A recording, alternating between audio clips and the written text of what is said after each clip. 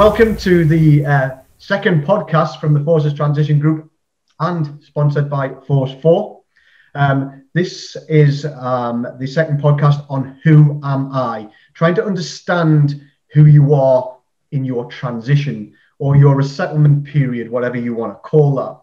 Now, this one's all about identity. Now, I'm touching on identity, which is quite a vast subject because of the recent events um, about perhaps um, people are feeling around the um, around the world if they've served in, in Afghanistan and, and, don't really know where they where they fit right now and they're having strange feelings. But of course, I'm also looking at the series of events that went on over the last two months and when several of my close friends and friends of, of, of the group here have, have taken their own lives, which for me, it has many reasons, but identity is part of that.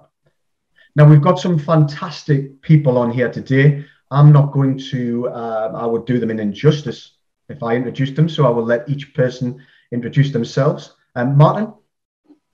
Yeah, thanks, John. Uh, so I'm Martin Smith, um, the, uh, the founder and MD here at Force 4 uh, Leadership and Management Training. Um, we're a, a CMI accredited training centre.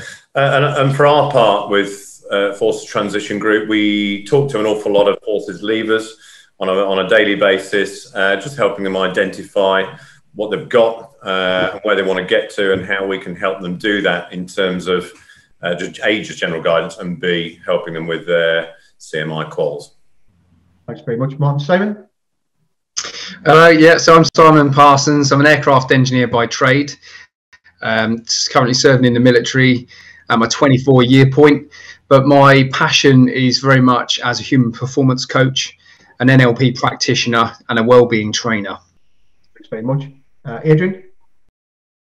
Hi everybody, thanks John. Uh, my name is Adrian Fadzilla. Um, I am a veteran. I left in 2012. Um, and since that time, I've done a number of different jobs. Um, and during that time, I had some very low points, and I'm now at uh, I wouldn't uh, on, a, on a better than place than I used to be. Um, um, but yeah, hopefully I'll tell you my story today of what happened to me, and maybe it will help you. Thanks, Adrian. Morris. Hi, uh, I'm Morris Epworth. I'm married to Megan. I've got uh, six children, nine grandchildren, ex-professional footballer for 10 years with Sunderland and in South Africa with Arcadia Shepherds during um, Mandela's time of transition. Uh, I've been in retail for 30 years, and the last 10 years, I set up MH Coaching and Leadership, which is a leadership company based on um, working out who you are. And I work with education, I work with footballers, I work in retail and one to one. Thanks very much, Morris. It's also interesting to know that Morris is actually working um, alongside me in some kind of um, small partnership in which we are actively helping um, service leavers, veterans, reservists um, currently in um, uh, all different kind of problems that they're going through. And that has all been funded by um, money raised from some of the the, the, the, the guys who unfortunately took their lives over the last few months. So thanks very much for that, Morris. Perhaps we'll talk about that a bit later on. Yeah, total privilege, John. But we hear about identity. Now, it'd be wrong of me to go on about how I feel about identity um, or to just say it in my words. Um, so I think it's very important to try and understand why we have this identity problem. What actually is identity? And because we've got Simon here, Simon here, we've got an expert in it. So Simon, could you just explain um, in a, in a, in a short period what you what what identity is? Uh, yeah of course john. So before i go into identity i'm going to strip it right back and go right back to the start. So as a five to seven year old we we very much build our deep rooted values and and a lot of those values are learned values from our parents and the way we've been brought up. Um, and we carry those through into our adult life subconsciously in some cases. And then we get to this point, us military types, where we join the army, and there's a bit of a shift. There's a shift in our values and beliefs, and for most people watching this, they'll appreciate that you go through basic training, they knock you down, and then they build you back up. And that's very deliberate. That's to knock the civvy out of you and build you up into the best possible soldier that they can or officer. And you've almost got these values and beliefs pressed on you. And it's within military doctrine. We've got the Army Leadership Code, we've got our values and standards. And it's part of the fiber of who we are as military people. So there's there's the first change, and then as you go through your career, the longer you're in, the more institutionalized we become, and we get to this point where we have this military identity, and perhaps for most, that military identity is all we all we know when we get to that resettlement stage in our career. And I want to give you a, a useful little analogy and it starts with an ant. Now, the ant represents the logical part of your brain, your conscious part of your brain. And you may think that it's a good idea to go into the oil and gas industry, for example, because you, you know people that have done it. You may earn quite a bit of money and you don't know a great deal else. So you start going in that direction. The issue being the ant is on top of an elephant, and the elephant is walking in a different direction. Now, the elephant represents your subconscious, your true identity, your values, and your beliefs. And if you are going in the direction of the ant, it doesn't how much it doesn't matter how much effort you put into that. You're going in the wrong direction. And the reason for that is is not congruent with truly who you are. So let's go back to the oil and gas um, example. If you're a family man, if you have a wife and two kids, and they are relying on you and they want you to be there for them because you've been away for the last 20 years with the military, then it's probably not a good idea to follow your friends and go into the oil and gas industry because it's not congruent with your situation. Uh, and another term for that is an ecology check. You need to check with the environment around you, the people that matter most to you and your priorities, uh, whether the decision you're making are congruent with that situation. Now, when we leave the military, we have a lot of identity stripped from us, whether we like it or not. We have our uniform taken off our backs, we have our rank taken off our chest. In some cases, if you're in a married quarter, you have your house taken away. So when you get to that point when you're leaving, a lot of the, what you think is your identity has been taken away. And unless you know what your true identity is, the deep rooted values and beliefs of who you are and what you are, then that can create an element of fear. It can create an element of loss and potentially a whole load of overwhelm because you're in a situation that you don't know how to deal with. Simon, are we, are we, am I right in thinking that social and cultural systems actually define our identity and and um, obviously in the forces you are uh, enforced to live one social and cultural uh, system uh, and then as, as, I think on the last podcast um, I think it was Adam that said John wasn't it that it's almost like a shock of release rather than a shock of capture it's a shock of release because you know all of your uh, social and cultural systems have just been stripped away uh, and now you've not, not got any point of reference.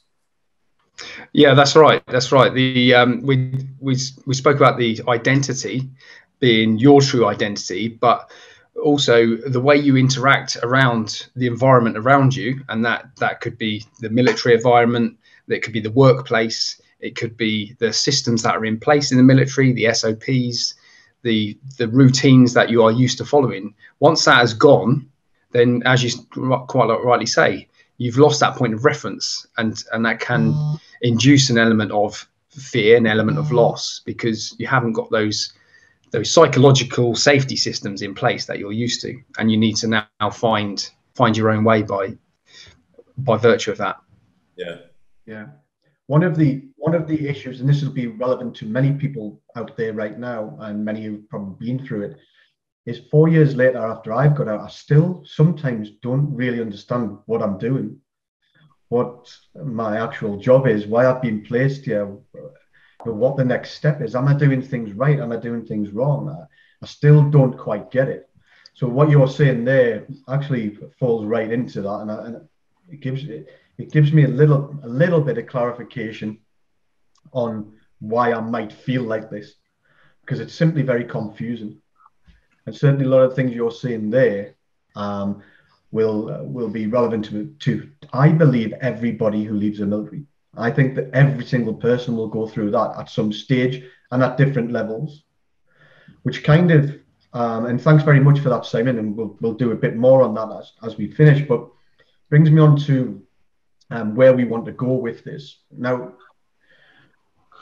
I believe because of identity issues, and the, of course, there are a lot of other things that can come along with identity and problems that people may have had. But some of it, and some of the some people um, do um, have way uh, larger problems and go way further along the line and perhaps do uh, take their lives. And I think it's really important that we don't skirt around this subject and we use real examples to let people know that this is normal. This happens to people, and how you deal with it and um, how you get that help, and as quick as you deal with that and get that help, is really important. And we shouldn't shy away from that because there's lots of things that come with that. I don't like the feeling of, how I feel. I feel embarrassed. I don't want to talk about it. But we must start doing that kind of thing. Now, the first step along this road, and first of all, why we've got Adrian here, is for, to tell his story. And he shows absolute courage in doing this. Um, I've heard this story um, two times before. It's absolutely um, heartbreaking.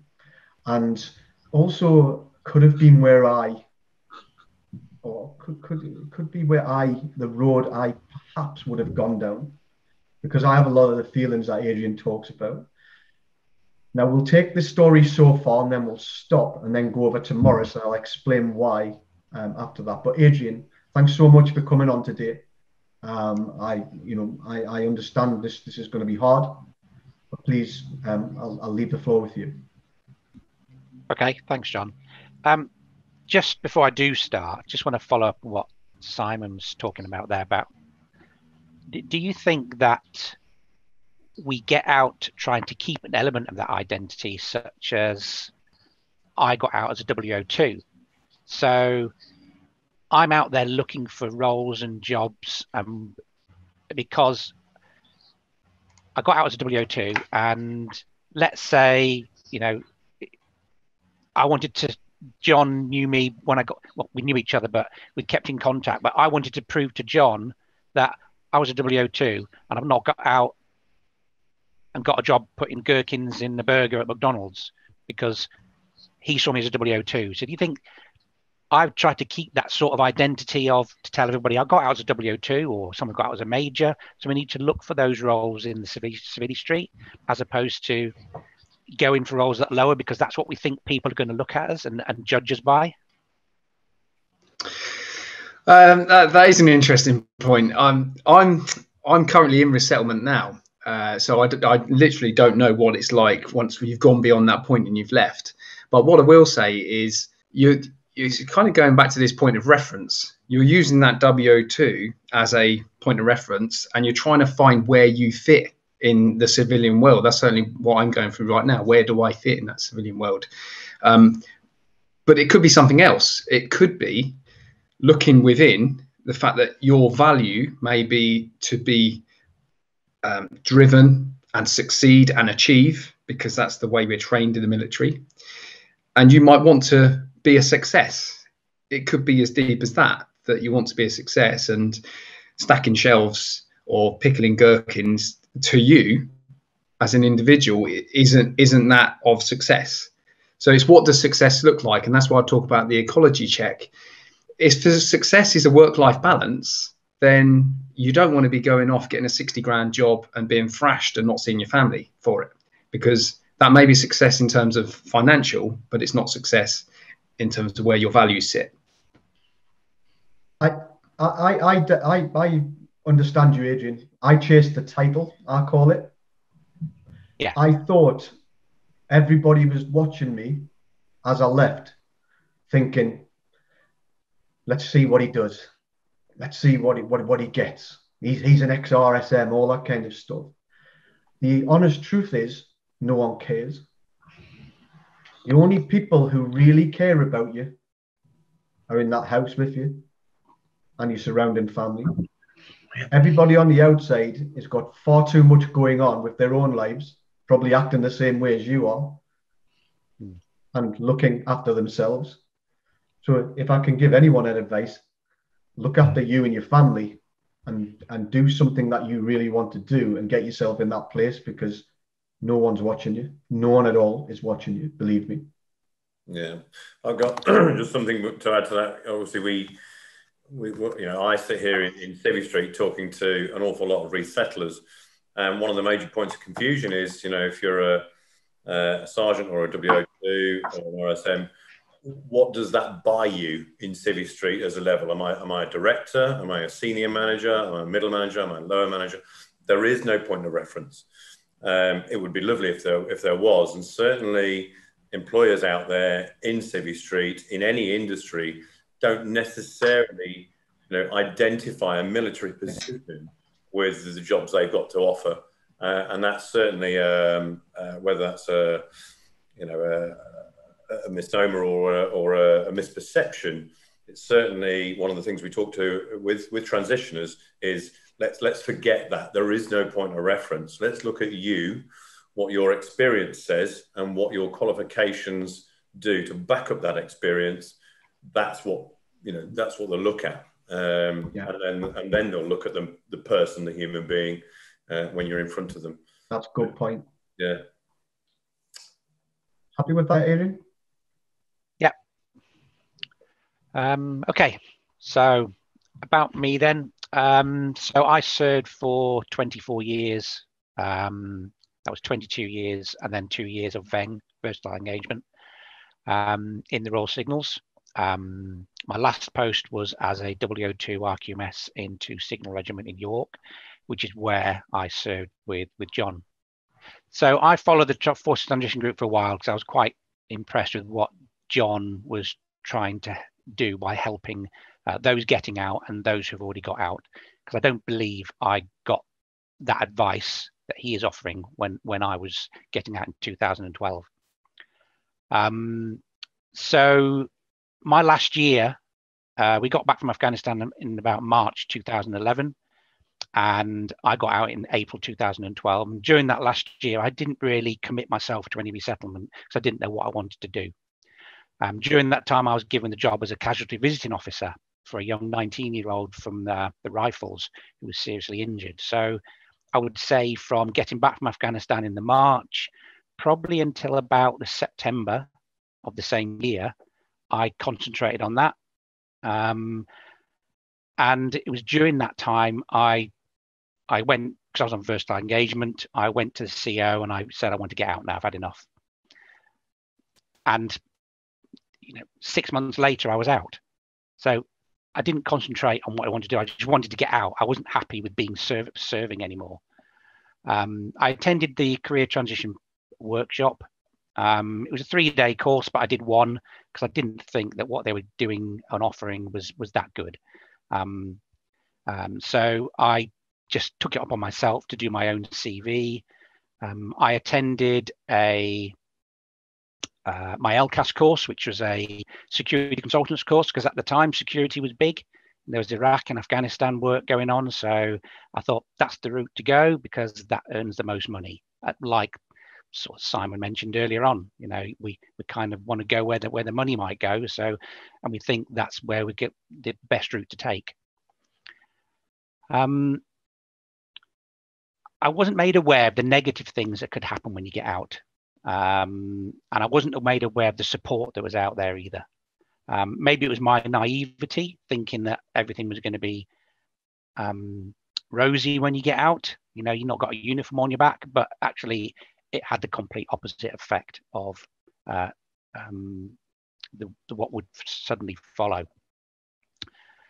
So my first week out, I got out on the Tuesday and I was told, well, you know, you're not got a job yet, so go to the job centre and and sign on because that's your right. You get your benefits. You know, just get just it's, it's what they say, it's money for old rope, really. Um, so I went to the job centre. Um, I sat in the queue with a load of other civilian people there, and I'm, I'm not going to judge them of you know what they were dressed like. I, I was there in my suit and my tie, you know, and you know looking all ex-military. Um, and I sat down at a desk, and they told me, "Okay, what do you want to do?" And I said, "I want to go into security." They just said, "Will you do day work? Will you do night work?" I said, "Yeah." Um, they didn't even bother looking at my CV. Uh, and I said, well, look at my CV. I was there, a warrant officer class two. Well, to, to them, that made no sense at all. Warrant officer class two. And, you know, I could have been, I could have been anybody. Um, so they gave me the books to fill in and said, you need to come in every couple of weeks to do, to say you've applied for jobs. And this is your book here for signing on and getting your money. Um, and I, I left the job centre. I got in my car and I just cried my eyes out in the car because four days, three days before that, I was in two signal regiment, WO2 RQMS. Everywhere I walked, people would brace up with the, the, the, ranks that were lower me, of course, brace up and say, sir.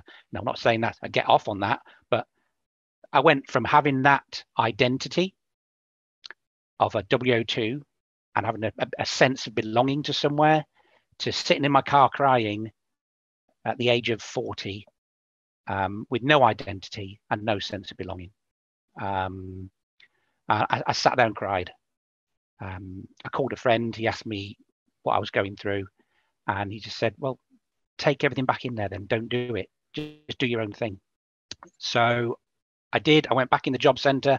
Just 40 minutes later, gave them all the books back and said, "I don't need your help. I'm going to go my own way my, my gratuity had been paid into my bank account, so I thought I'm going to live off that for now. Um, and then I started looking for a job, which maybe I should have done weeks, months before, but you know, I thought I'd take a break. I took a job in Afghanistan, which probably wasn't the best idea because when I left, I'd said to my fiance at the time, uh, when I leave, I'm going to be at home more. And exactly, it's exactly what Simon has just mentioned.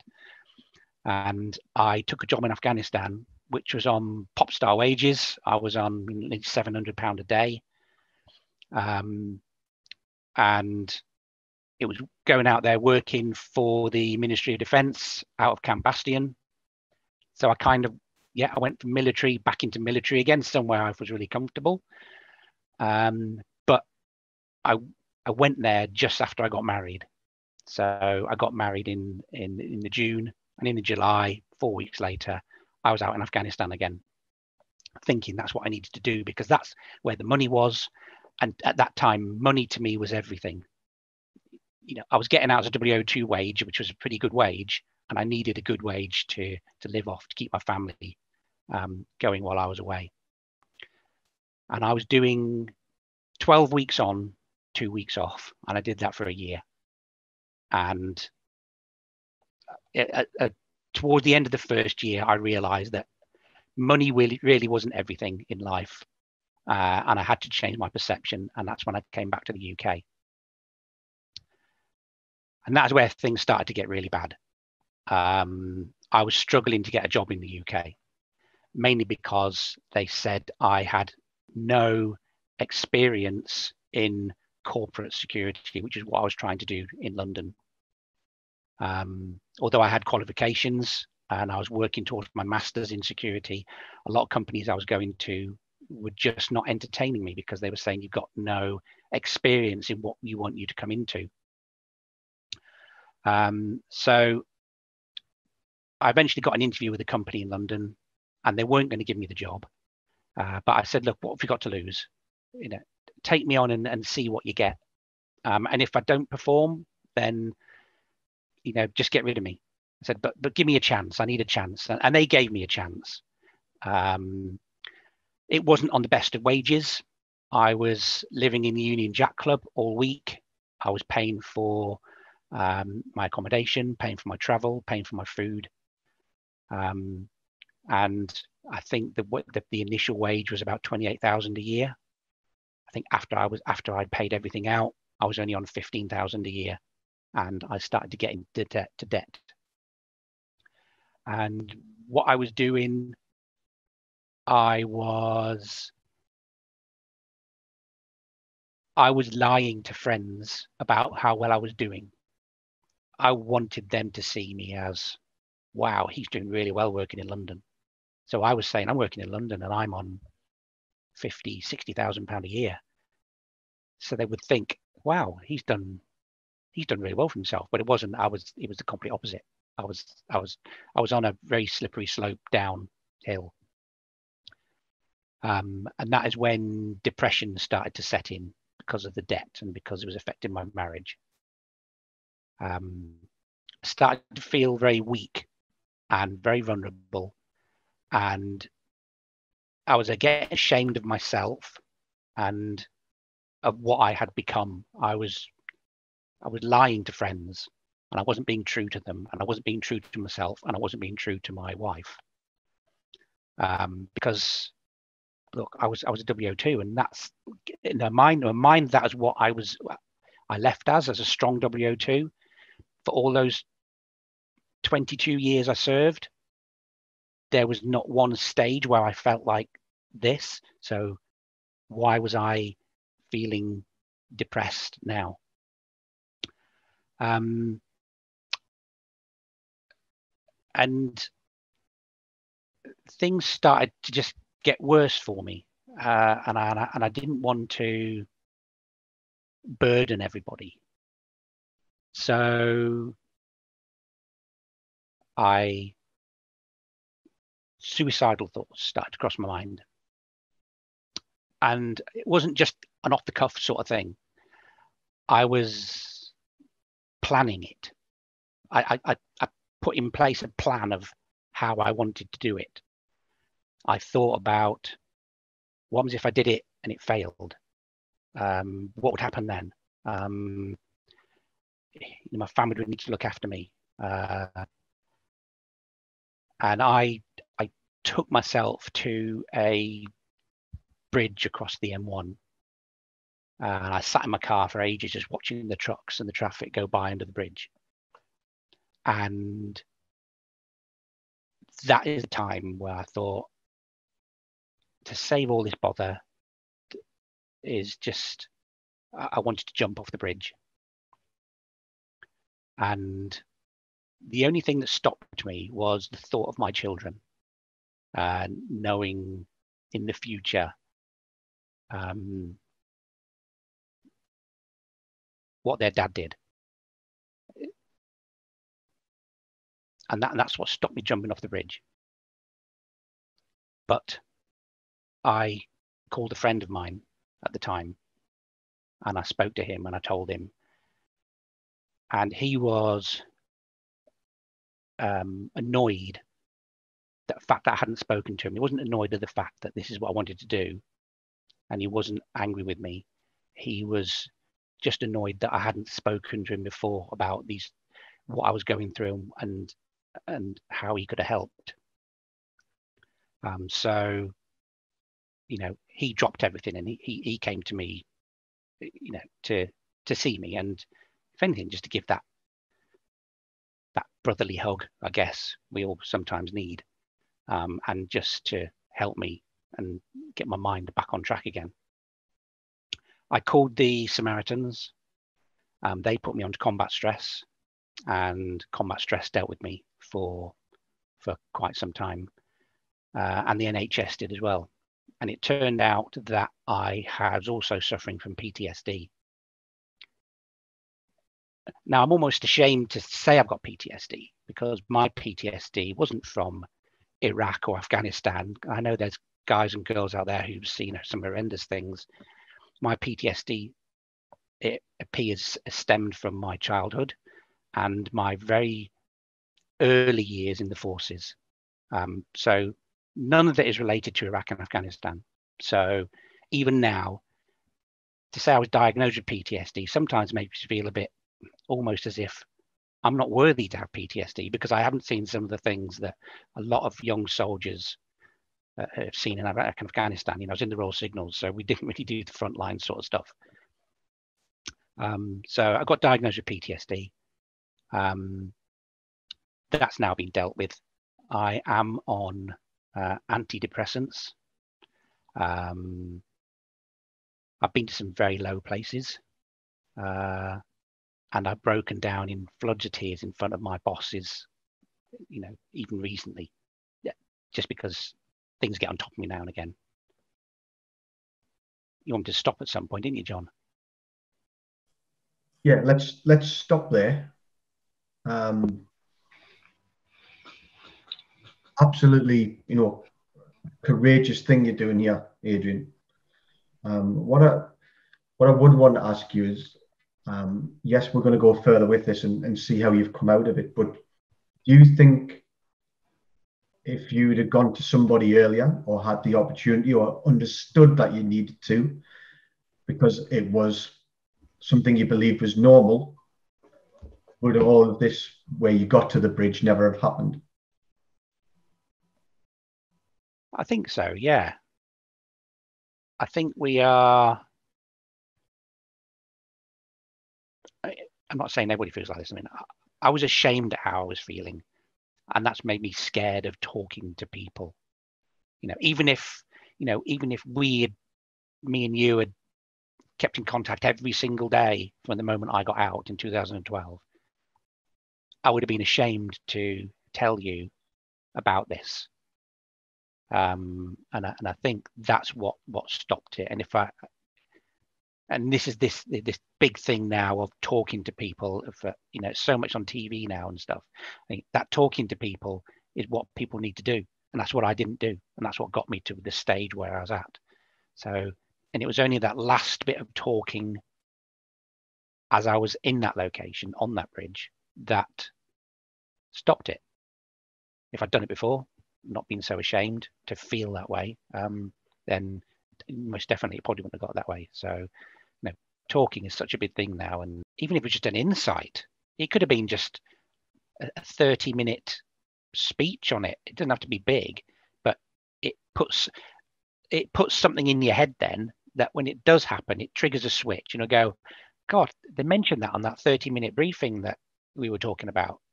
Um, and it, it maybe prepare you for it and then make you realize, okay, I've got to go down this path now or, or that path. Uh, for me, it was just one straight path. I had one road to go down when I got out. There was not 10 different routes I could go down for my issues. It was one route. And that was the route I was going to go down. So if somebody or a um, an element of the MOD had had had prepared me. Look, they prepare us for everything. You know, they prepare us for every single thing that's going to happen in your military life.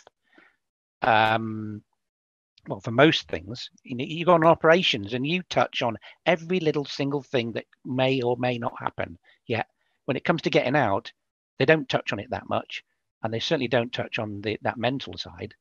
Uh, maybe they do now. I don't know. Um, but if they could prepare us just a little bit more, then I'm sure that would helped me. Yeah, there's definitely work going on. The the armed forces have, have realised um, without being in the forces, I wouldn't know at what level and, and how far that's gone, Adrian.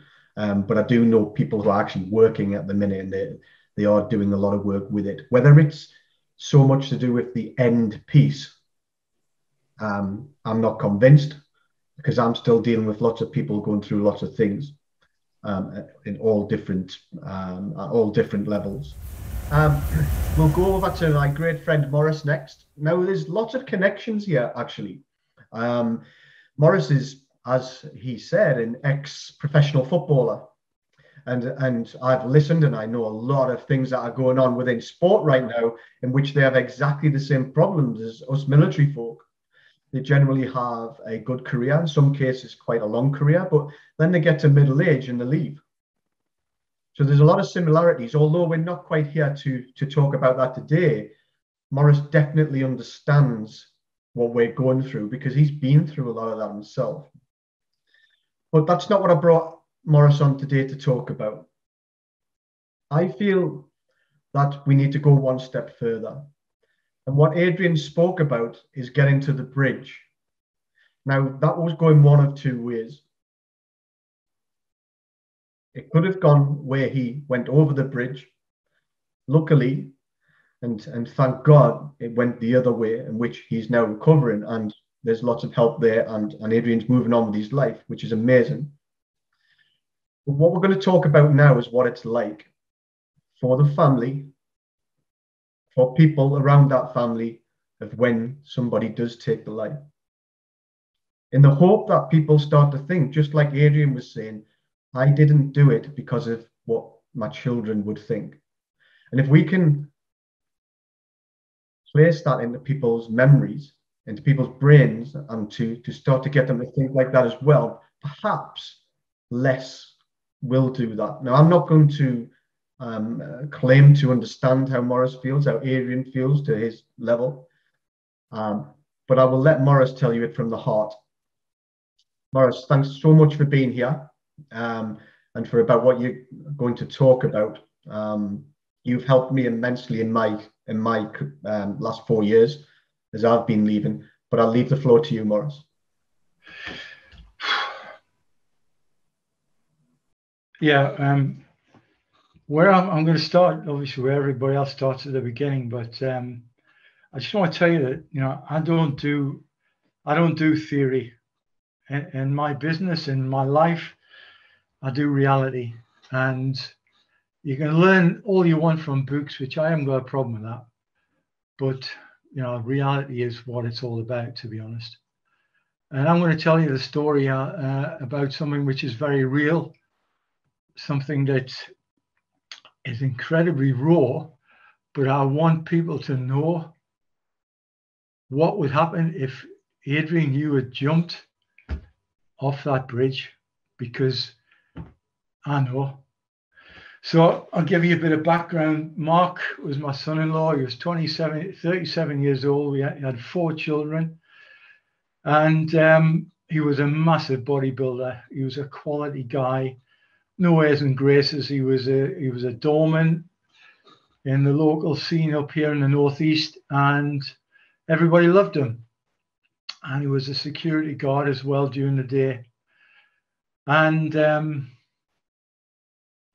he lived for his gym. And during lockdown, um, the gym's closed. And Mark had to work out upstairs in the front room. He wasn't he didn't go out a lot because of lockdown. And it affected his mental health, which we did not know about. So uh, I'll start at Father's Day, six weeks before the terrible day that it happened. So we had a wonderful Father's Day, and like everything else, my kids, my grandkids were there. It's a wonderful time for me as a father. And I got some great cards, and I, I read the cards, and I did a bit of a speech at the end. And I just said to my kids, "Look, I really love you guys." And when you read some of the comments on these cards, it says that Mum and I did a really, we did something right in bringing you guys up as children and as human beings. And Mark came over to me, and he didn't say he wasn't a guy for saying a lot. Mark, uh, he came over to me and he put his arm around me and he looked me in the eye, and he said, "You know what, Morris? He says you're the guy I want to be.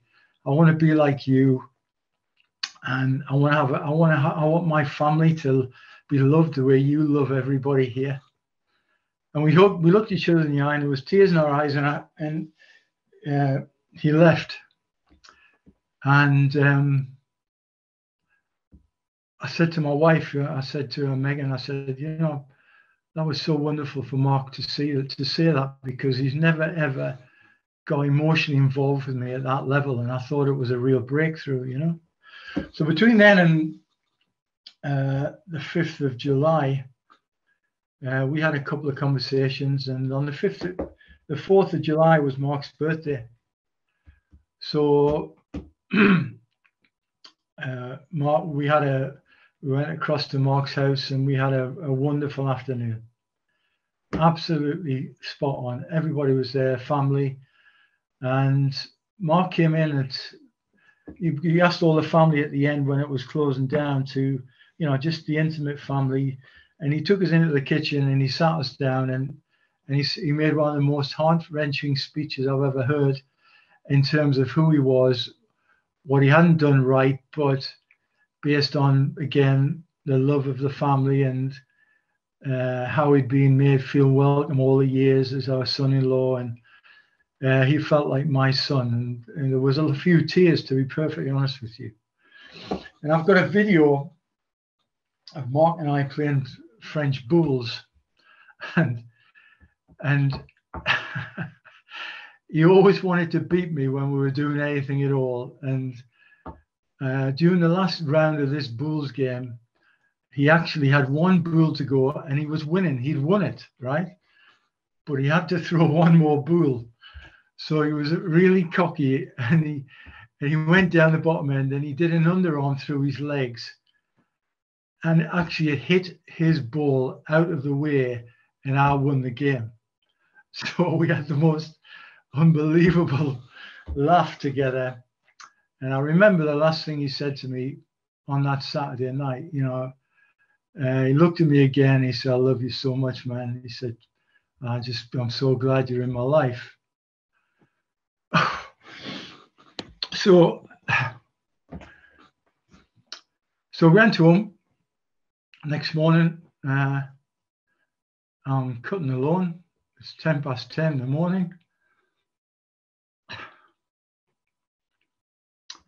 And my wife, excuse me, my wife rushes out the front door and she says, My God, my God, Mark's killed himself.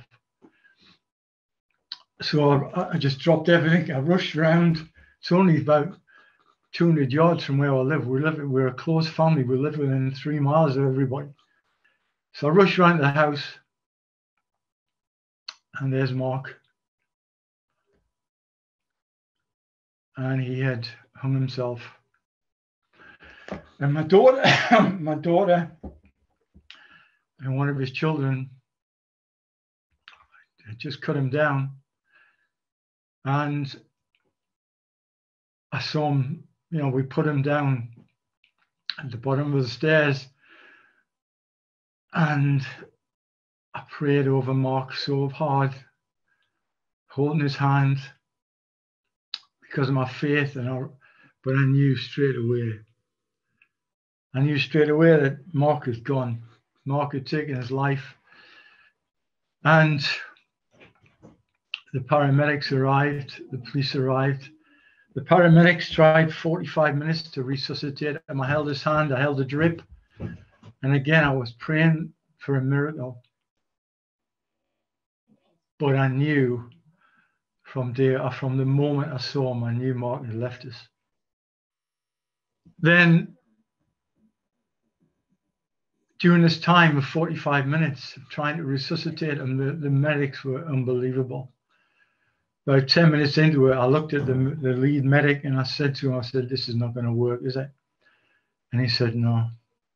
I said, I know he's gone. And I'll never forget. I'll never forget the screaming of my daughter. The noise of her rocking back and forward at the bottom of Mark's feet, screaming. So after we uh, after they, they called the death, um, my daughter came back and hugged Mark, and oh, it was just unbearable. So the ambulance came, they picked him up, and they took him away and we just sat in the kitchen in total, utter devastation. We couldn't talk, we couldn't speak. We just, it was like, you just couldn't believe it. So we sat there, and then it started to dawn on us that um, the severity of what had actually just happened the police came and they took his phone away and they took the belt away that he hung himself with. And there we were. Four kids in the house upstairs who we hadn't told. Or three of them we told. Well, three we hadn't told. One was there, his daughter was there when we took him down. And we just, you know, it was like, you know, something out of a horror film. So we eventually we left my daughter with um, two of my kids came around, two of my uh, youngest daughters came around. Uh, they sat with her. We took the kids round to our house, and it was just you can't you you cannot you know you can write about it, guys. You can write about this how it feels, blah blah blah. No, you can't unless you have been in that situation, there is not a chance anyone is going to understand the ripple effect of absolute despair when someone does this. And the questions that you ask yourself. So, you know, it took seven to 10 days before, well, it took two months before the body was released because they did a post mortem and and uh, because of COVID, we could only have 15, 20 people around the graveside. It was a very intimate burial. I did the eulogy, and it was it was just, you know, that eulogy was probably some of the greatest words I've ever written. And then you go home and you have the wake and you sit there and someone got a photograph of me and I look at it now and I think, you know, if you've ever been in a situation where you've met somebody who's got a thousand yard stare on, lights are on, nobody home, that's where I'm at. That's where I was at. My daughter, it took her six months before she went out of the house she cried. I've, you know, I know that if it wasn't for my youngest grandson, I, well, I'm not, I don't know. Well, yes, I do. If it wasn't for my youngest grandson, who was eight, she would have followed Mark at some stage. So that's, you know, it's we're a year down the line now. Um, the ripple effect is still there my daughter is we had to sell the house so we sold the house. Uh, we couldn't i mean i couldn't i traumatized me i couldn't go in the house uh, again.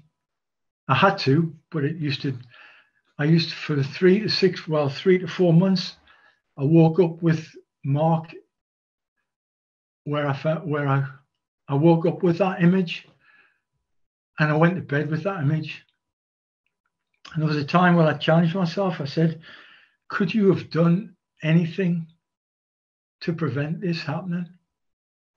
And I was really honest with myself because there was some serious guilt initially, unbelievable amount of guilt.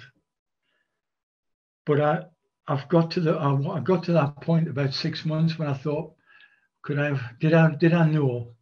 No, I didn't. Could I have done anything? No, because I didn't know. Would it have changed anything? Probably not. Will my life ever be the same again? No chance. Never, ever. So, all my wife and I have been trying to do for the last year is to take care of my four grandchildren. My daughter is out there, you take at times you take two steps forward and three steps back. Um,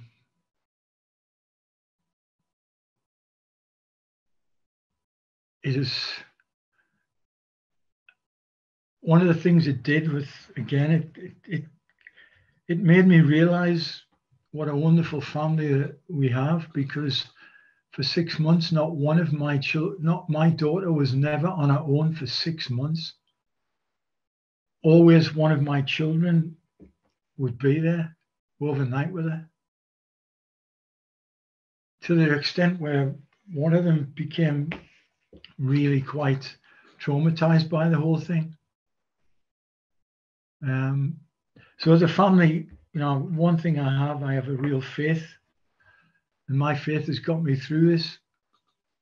Um, I'm the leader of the family, therefore, um, it's my responsibility. But also, as leader of the family, you have to be able to share stuff. And it's really difficult to share something like this because unless you've been through this, uh, honestly, no one can say to me, I know how you feel. Forget it, you don't. You've got no idea what it feels like. So, by me telling you this and talking about this, if I can save one life, if I can save one person from having to go through what my family has been through, um, it's worthwhile. I will do anything. My whole life mission now going forward is to work with John and to work with whoever will listen about suicide and what it, what it means and what it feels like. Um, so it's an ongoing thing now. Um, my daughter my sons have got the you know the, the boys live opposite where I am. We rented a house there. Um, my daughter and the youngest son can't live can't live there because it's too close. So they live uh, about five miles away. It's not ideal, but the two eldest boys, you know, we take care of them, and um, my daughter is is getting there, but really difficult life changing, like nobody has any idea what the life changing effect this has. Will we ever recover from, recover from it? No chance. Do I want to enlighten people about what happens? Absolutely. I will talk to anybody, anytime, any question. You know, is no is any question is not big enough for me to answer. So that's really where we're at now. Um, it's a daily, it's a daily, it's a daily, it's a daily journey. Um, my wife has been unbelievable. My kids have been unbelievable. And the one thing it taught me is that family is the most important thing in your life. And also, also there are times someone doesn't want to tell you something it's real difficult to get them to do it because I thought Mark and uh, I thought Mark told me everything and he didn't. But I stopped blaming myself because you can't. Could I have prevented it? No chance. Not a chance. And I look back and I've challenged myself, I've beat myself up, I've cried, I've all sorts. But my faith has told me there's nothing more you could have done. If someone has got it in the mind at that moment, that second, that second, they will do it. And if anybody wants to know what it feels like, just come and talk to me because books, books in theory don't tell you what reality looks like and what you have to deal with going forward. So that's my story. Um, I'm so proud of my my wife, my children. Um, I thank God for my faith, which got me through this. And I will I will move heaven and earth to save one suicide if I could possibly do that. Maurice, that's incredibly powerful and emotional all at the same time. And thank you so much for that. I did have lots of questions for you, but you've answered them all. And I suppose the question I really wanted to ask you was uh, why would you ever want to share that, but you answered that well. And I don't think anybody would probably have to come and talk to you to understand what it's like because you've just portrayed that. And I, I will never say that I would ever understand, but I can truly believe how unbelievably uh, bad, sad, emotional. Probably haven't got the words to describe what it's like. And thank you for that, and we'll give you a few minutes there. But Adrian, uh, how do you see that, and and potentially what could have uh, the difference, uh, maybe people's lives would have been for you uh, or for your family? Uh, well, first of all, Morris, that thank you for your yeah that very very touching, emotional um, piece you just given. Um, you, you said that you know could you've done anything? You know, you say you probably couldn't. Uh, for me, I hid every single feeling I had about how I was feeling. Um, I, I'm, I'm, I'm not saying that everyone does that.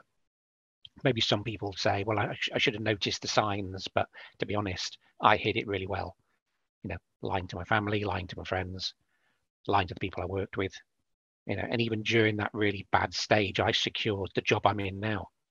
So I was in a real bad way, but my job took um, was being managed, but but I wasn't. But I hid every single feeling I had until it almost came out on that bridge that day. So I don't think that if if I'd been able to talk to people before and had that um, courage to talk to people, um, yeah, maybe I wouldn't have got to that stage. And uh, maybe that's the same for uh, for Mark. That maybe he didn't feel he could talk to anybody because he was maybe ashamed or embarrassed, like I was. Um, but but Mark obviously, you know, took his life for the for the reasons that probably probably Maurice and the rest of your family will never know the reason why. You know, the, the real reasons why, because I don't know the real reasons why um, I got to that stage. You know, I, I just wish I hadn't got to that stage. And Adrian, you know, um, where are you now? Um, I know you, you have had some success, and so I suppose that's the first question. And then to finish, how would you suggest, uh, or what would suggest your coping methods are now? Yeah, so like I said, even during that low stage, I secured probably the best job I've ever had. Um, I work for a global company now. Um, I'm paid very well. I'm recognized globally within the company for what I do. I feel appreciated for what I do. Um, although I am on medication, I am still on antidepressants. And I'm almost worried about coming off antidepressants, if I'm honest, but they are helping. So I continue to take them. Um, uh, so I've got a good job. Um, I now speak to those friends who who I never spoke to before since I got out and probably you'll know, John, you can really count your really good friends you served with on one on I on one hand. That's what I can I can put, count them on one hand, and so I I, I regularly now meet up with you know, a very good friend of mine. Um, you know, every couple of months or sometimes every every two weeks we meet up while I'm while I'm traveling around. I might meet up. Um, uh, and the things I'd, I'd take away from from from the whole the whole thing is um, when you're getting out, and when you do get out, don't lose sight of who you are, and certainly don't lose sight of what you were. You know, you were uh, a, a soldier, an airman, a sailor, a Royal Marine. You know what you did for however amount of years. It doesn't matter whether you got you've been in for six years, you've been in for 22 years, you've been in for 30 years. Um, you know, don't lose sight of who you were and what, what you were. Um, but certainly don't be embarrassed to talk to friends and keep in touch with them and join those groups. Uh, and when you're feeling a little bit low, even in the slightest, give your friends a call. They will listen. And we all think they won't because they all got out, you know, my peer group all got out as officers or warrant officers. Um, but we've all got a heart really, and we're all going to listen. And we're never going to say somebody to somebody, what you, you you feeling suicidal? You're feeling this? You're not, they're not going to call us weak or anything. That's how I felt. I felt weak and vulnerable. Um, but they're not going to do that. And that's perception you, you've got to get out of your head that that's how people will perceive you. Uh, use the help that's out there. Um, I, reckon, I think the Forces Transition Group, the help you offer is, is, is immense and amazing to anybody who, who, who has the opportunity has been passed on to, to what you do. Uh, use your network, use your relationships um, to look at the jobs. And I was always told, not always told. When I got out, I, I was I met somebody within within the civilian world who said to me, um, "There are three things that will make you happy when you get out of the forces, uh, and that's your job, your location, and your money." And very rarely will you get all three, where you get a good job in an excellent location, earning excellent money, and you might have to jump through a lot of hoops to get those three. Uh, when I got out, I got my job in Afghanistan so the money was fantastic. You know, I, I was I was earning 140,000 a year. The location was rubbish, but the job was rubbish. I then came back from there. I got a job in London, so the location was okay. Um, the job was okay, but the money was rubbish. And then I got this job I'm in now, and the job is fantastic. The location, I work from home 90% of the time. They fly me around the world when I need to fly me around the world they fly me business class. They look after me, and and so the job, the location, the money are great. And very rarely will you get all three, but it may take some time to get to listing all those three, uh, where you're then going to be in a happy place. Um, and that's where I'm now. I mean, you know, I'm in a much happier place than what I was, um, and that's through the support network I've had in these last few years. But those, those years before, the support probably was there for me, but I didn't seek it out.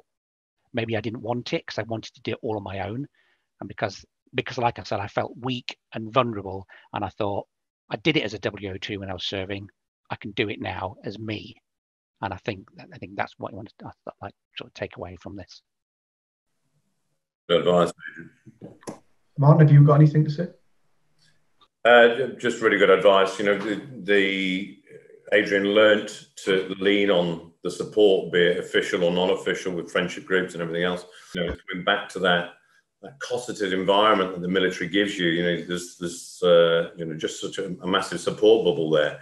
And when you're out of that, you know you you know as blokes can be very Neanderthal, and you know we've we've got to do it on our own. You know, failure is not an option. You know, we have to succeed, uh, whatever at whatever cost. And if we don't, if we don't understand, and this is before, you know, this is why FTG, Forces Transition Group, you know, is a fantastic entity because, you know, there is a support bubble there that will help to replace the forces one, but it's it's it's a transitional support bubble. It's it's of you know a Civvy Street esque uh, nature, and there's a lot of people you know on the military side and on the Civvy Street side that can see it from two different angles, and that's that's why we talk to an awful lot of forces guys, you know, because it's it's what does it look like out there, um, and this this fantastic support bubble um, that that Forces Transition Group give, I think, is is something you know to rely on, but also friendship groups really really important. Um, I personally didn't didn't really lean on my friends emotionally uh, until until my Bezzy took his life only about eleven months ago now. Um, and then we all started getting worried for each other, you know. And now we have a, a WhatsApp group, you know.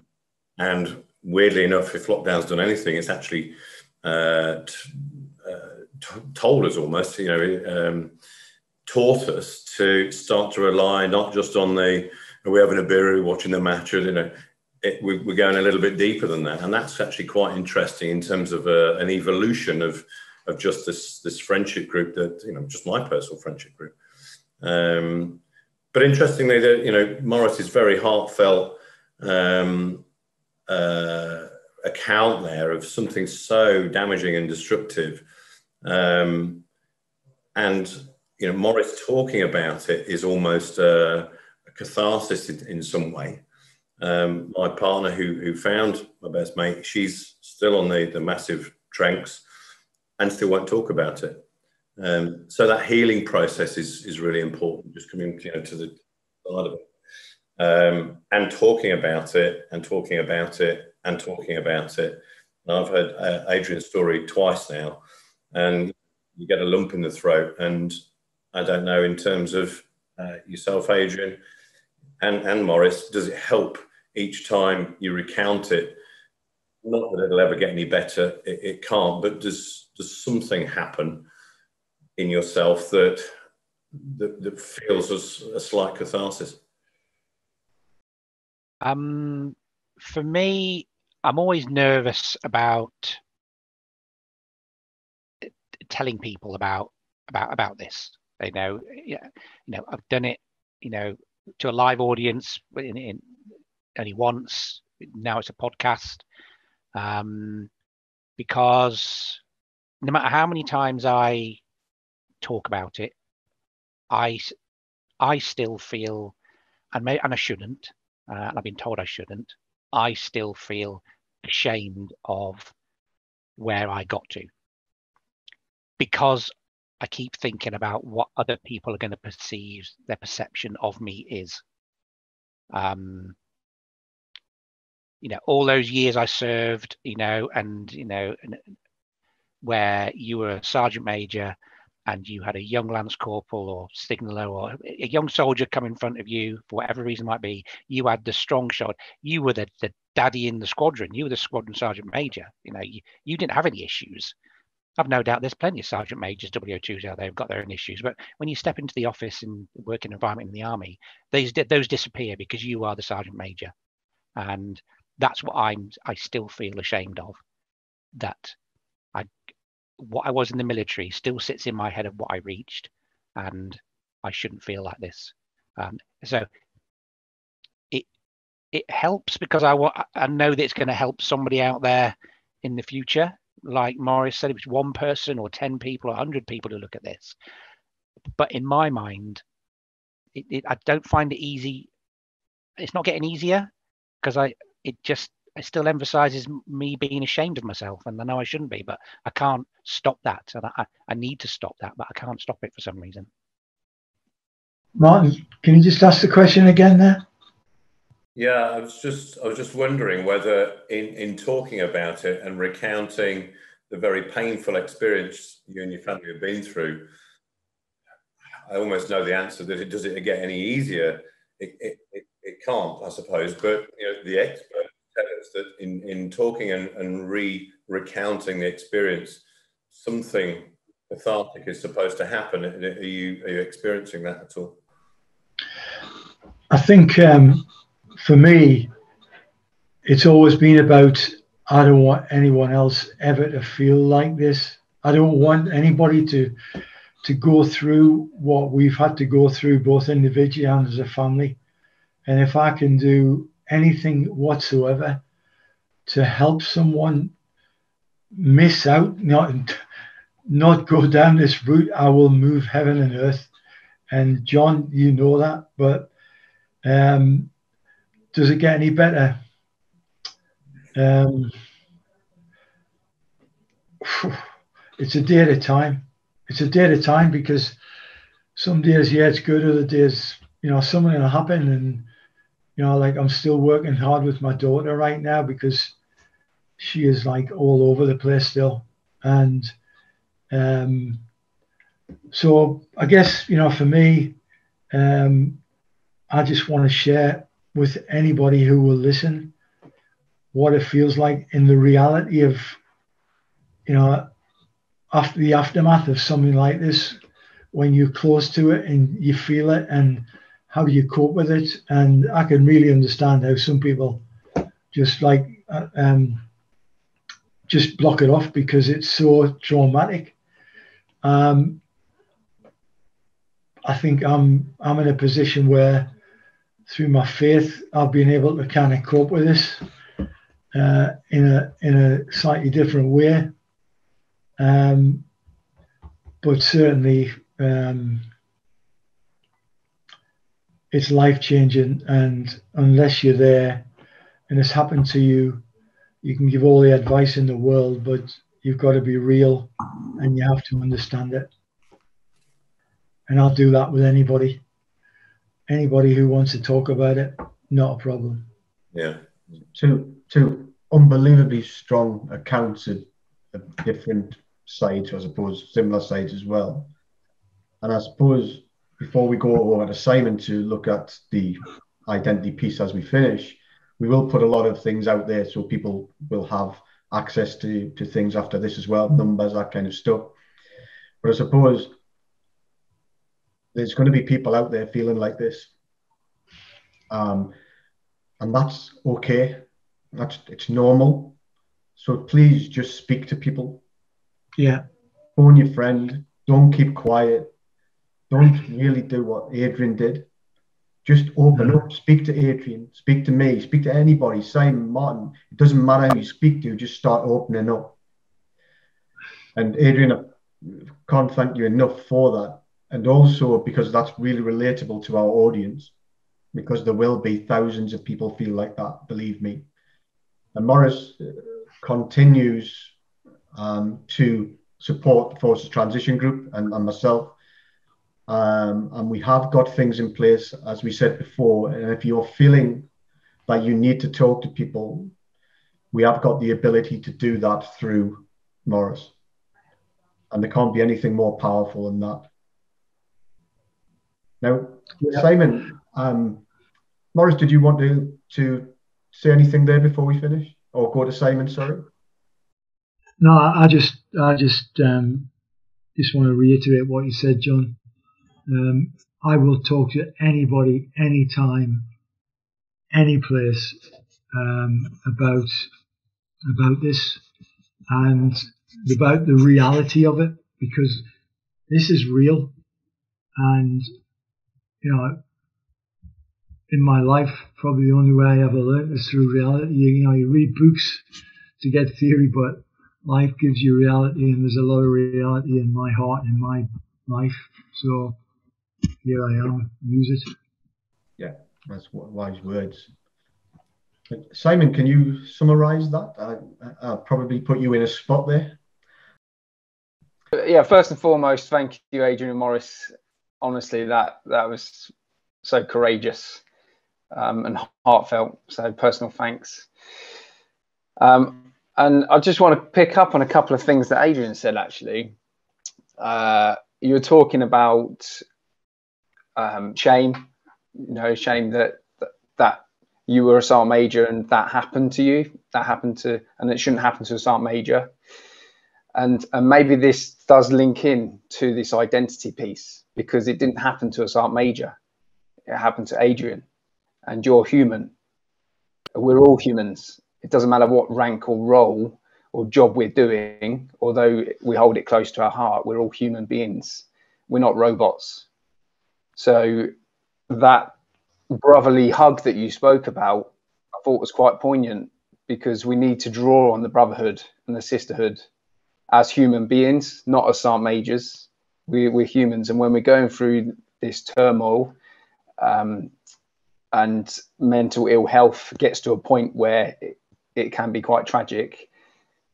At any stage along that journey, we need to, as humans, talk to each other and I think because that military mindset in that we must succeed and failure is not an option, we we perhaps frame talking as failure, like we haven't succeeded, and like a sergeant major should not be talking to somebody um, and putting their hand up when actually it's failure not to talk. And Morris, your heartfelt story is is you know it, it just puts that that into context for anyone watching this. Yeah, yeah. Uh, also, to what what I'd like to do now is talk about um, potential strategies to help the military person get through the resettlement journey because there's all sorts of change going on during resettlement journey um, and these changes could lead to overwhelm and, and these types of issues so a few strategies um, the army leadership code talks about a vision a challenge and a support i'd just like to steal that because when you're resettling you need to have a vision it is challenging but the bit that maybe some people lose sight of is there is still support. You didn't succeed through the army to get to where you got to on your own. You succeeded through the support of the army and the system, as well as your, your drive and determination, clearly. And you're not going to succeed in, in Civvy Street without the support. It's just knowing that the support's there and it's finding that support, reaching out perhaps um, and the one thing I'm being told consistently is network, network, network. And I suppose that that goes hand in hand with connecting and talking. And whether you're connecting and talking to to broaden your network from a, a professional perspective, or whether you're connecting and talking from a human perspective, I don't suppose it really matters. The point is, you're not on your own. Uh, so that's that's where I'd like to go with this next bit. Now, when, when you're in resettlement, another useful analogy is a spinning dartboard. And you've got that dartboard and it's spinning. And you need to throw that dart and you need to hit it on the right place. You need to find the right job. You need to resettle in the right way. And it's very difficult. That spinning dartboard is like your mind spinning, lots of things going on, lots of emotions, lots of priorities, lots of pressures. But it's useful to stop the dartboard before you throw the dart. So, in order to stop the dartboard, you have to understand where you want the dart to go, who you are. And this again comes back to the identity. Now, in the in the military, we talk about mission analysis, and this mission analysis can be applied to who you are. So, first ask yourself the question, "What am I?" And it, the first answer might be I'm a sergeant major, I'm a um, you know a corporal, I'm a, a bricklayer. But that what am I needs to be taken out of the military context and reframed into transferable skills. So when you're asking what am I, you, you kind of goes back to what you were talking about earlier, Adrian, with okay, how does a WO2 link up with the civilian sector? That bit of it, I suppose, is irrelevant. It's what are my transferable skills? That's the first bit. Um, who am I? Is really gets into the the identity. What are your true values and beliefs? And there will be an element of that that that is military, and you need to be proud of it, but leave it behind, because the who am I? It it looks a little bit different as you're starting to look at the door and and get out there. So you need to really know who you are so that you don't make the right the wrong decisions and choices on the direction that you're going. So that going back to the elephant and the ant analogy, you know what the what direction the elephant's going in, and you're not trying to walk in the opposite direction as the ant on the elephant's back. Uh, when you're asking who am I, we could probably come up with two, maybe three answers but if you keep asking that question, who am I? I'm a father. I'm a son. I'm a brother. I'm a friend. I'm a, I'm a person that likes to be outgoing and meet people and work outside or work with the community. When you keep asking those questions, who am I? Who am I? Who am I? Then you will start to, to understand what your values are and therefore understand what your identity is, your true identity. The next question is why. So why why do you want to follow in a certain go go in a certain direction? Why is it you want to go and be a health and safety manager? Is it because you enjoy doing that type of work, or is it just because that's the qualification you've got from the military and you want to use it because you don't know what else to do? So why is it? What is your why? Now Simon Sinek puts it really well when he talks about understand what your why is. So there's a bit that you that you need to answer. The next one is where. So where is it that you want to be? Because as I said earlier, if you want to be at home with your family because you're fed up with moving around, then you don't want to be going into an industry where there's lots of travel and it's a it's a mandatory kind of part of that role. It's not going to be congruent with you and your values and your family. The the final one, and I suppose this is this is one that is a stepping stone is into the into the world of networking and the world of the military network, the veteran network. That is how. So once you've established who you are and what you want to do, it's how you're going to do it. And you can't answer that question straight away at the start of your resettlement journey. You have to get out there, you have to network, you have to speak with people, you have to ask the questions and find the answers of how you're going to do it. Um, and I think once you've established all of that, what you've then done during that resettlement journey is you set your reticular activating system. Now, your reticular activating system is the filter that allows information through from the subconscious into the conscious. It's essentially where your focus is at. And as Tony Robbins says, where the focus goes, the energy flows. So if you if you've shifted your mindset into the resettlement space, and that is now your number one priority, you will start having resettlement conversations. You will start getting your reticular activating system, your RAS, will start allowing through resettlement information into your conscious mind. You'll you could be you take LinkedIn for instance. You could be on LinkedIn. You you you'll be on that LinkedIn profile. You'll be understanding what what's going on out there. You'll be linking up with people. You'll be having conversations. You'll be watching the webinars. Um, obviously, Trish Mullen does a very good one on CV writing. Um, all of this information is is all out there, but unless you set your focus to it, you're not going to see it. And if you don't see all that information, all those answers to your questions, you're in a space where you have unanswered questions. And that's quite a daunting space to be in, especially when part of your identity is, is about to be taken away on your last day of service. So, just in summary, understand who you are and where you want to go, be the elephant, not the ant, and reach out whether it's professionally or as a human, reach out and ask the questions. And that hopefully will allay some of that overwhelm.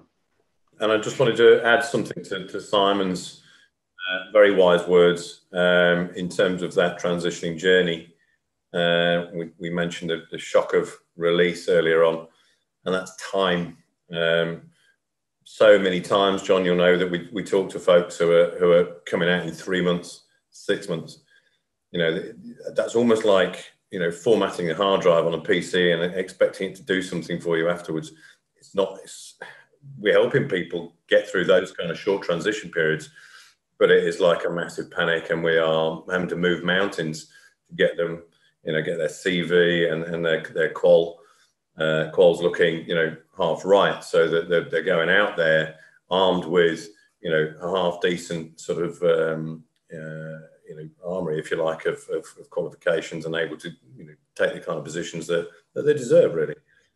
But you know, sometimes we get a call from some from some guys and girls that are three years. They've decided their transitioning journey is three years, and it's like you know, I look to the heavens and think, thank God for that, you know, because to refine identity and go through all those steps that Simon talks about, establishing the how, the why, the what, and everything else. That is is a, a complete retraining of your of your own self, and you've got to be fair to yourself and give yourself time. Um, and the more time you give yourself, the, the more time you're giving those that that sort of help group, all those all that you know um, bubble, if you like, of, of people that can help you, time to help you.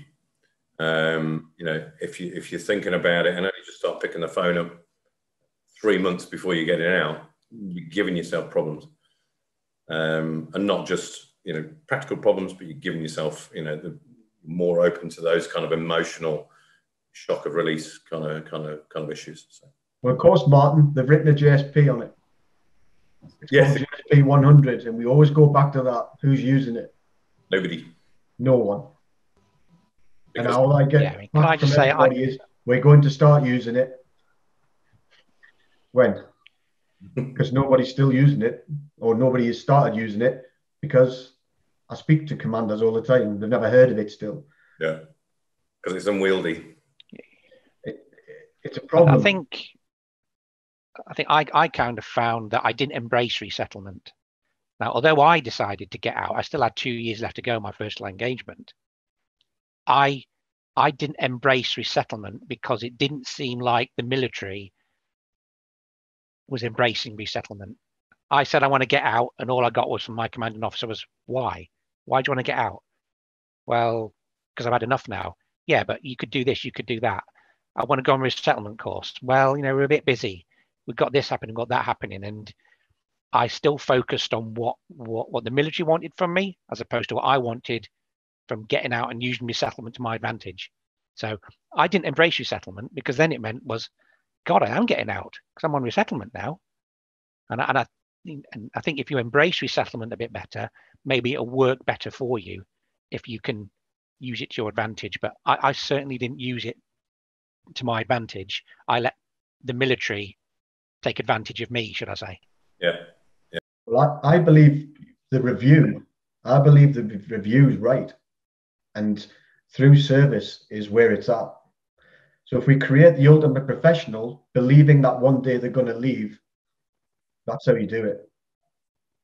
Because when you give somebody a period at the time and say, right, when you get to the end, we're going to give you this time, that's what they'll wait to do. Because people generally just want to get on with their life. They don't want to think about that. But if you do it through service and you make a culture and you make them into the person that one day you will leave, they'll turn up at that end piece already that professional person and they'll understand it way better.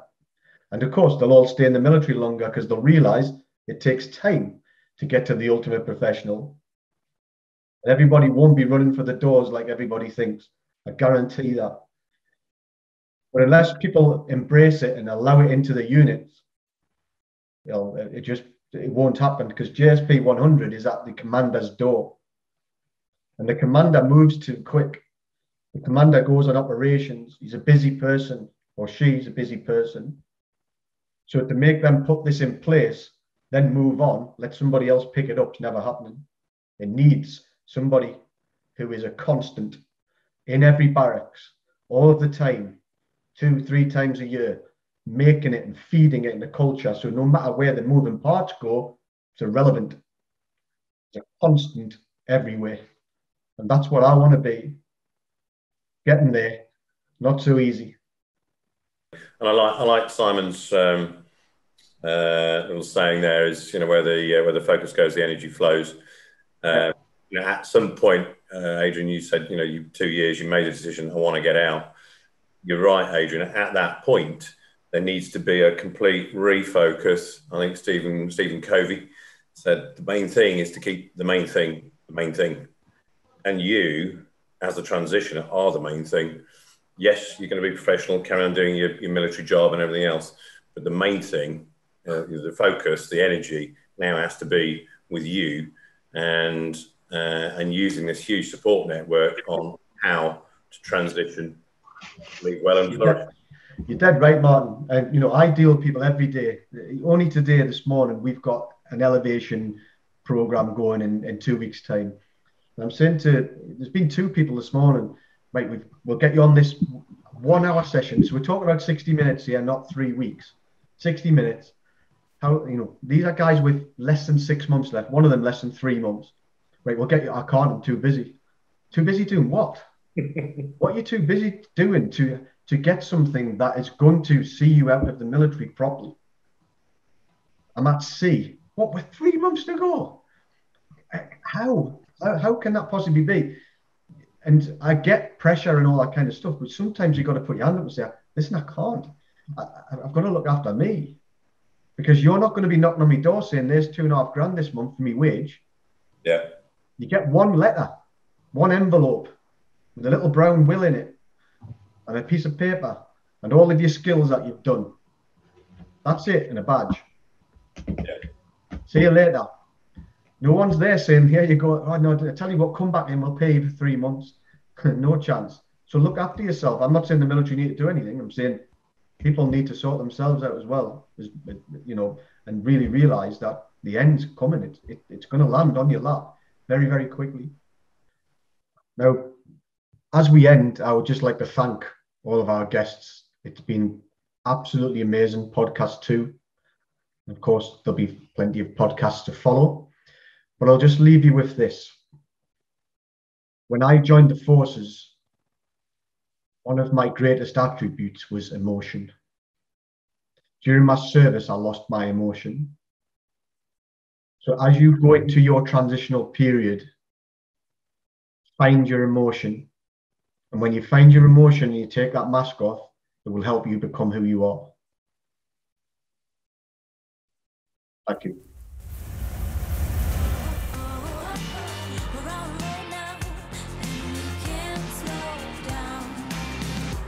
Support is available if you have been affected by anything you have heard in this episode or have found its contents distressing. Talking to other people can be very helpful, whether this is with a family member, friends, a doctor, or a service like Op Courage from the NHS, where you can find help and support organisations around the country. More details for Op Courage can be found in the video description below or by searching Op Courage NHS. Serve well, leave well, and flourish. Thanks for watching.